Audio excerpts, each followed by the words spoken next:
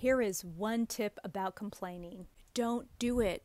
I mean, practice not complaining. Seriously. Complaining is ineffective and a waste of time. I know that I've done it. I know that you've done it. So instead of beating yourself up, change your perspective. Ask yourself if you're really trying to find a solution rather than complaining.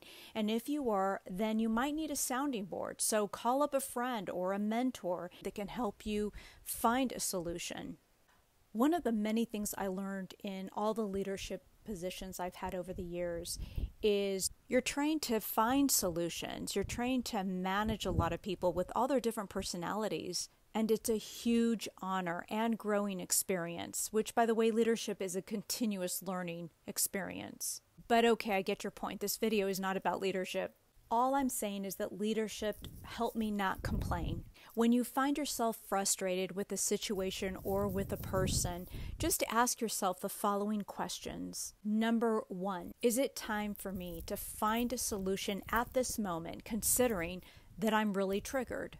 Because if you're more invested in your current trigger, then you need to learn to take care of yourself first, to take care of your central nervous system.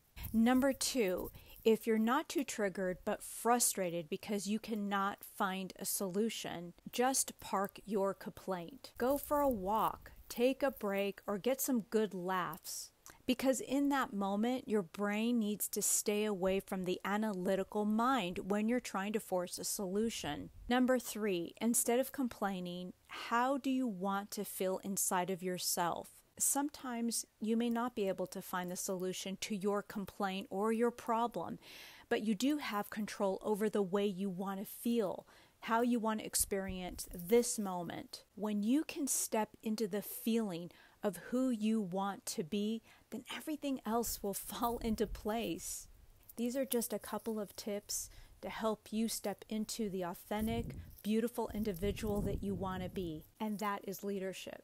So, if you're interested in working with me but are unsure about having one on one Uh, coaching sessions with me, beginning May 6th from 6 to 7:30 Central Time USA and for the month of May it's all about self-care. I'll be using a neuro-emotional process and I'll be also tapping is something I'm going to teach you all and you're going to learn the skill sets to self-regulate and take better care of who you are. So if you're interested, you can email me at mindsetmatterswithsandra at gmail.com or go onto my website and register, become a VIP member. Every week I send out offers and other information on what's coming up. This is a wonderful way to get started. It's a small group that I have every Monday night and I think you'll really enjoy it. It's in a safe environment, and we are all ready to make some changes and work on some subconscious patterns to help you bring in the life that you desire. For more of this content, follow me.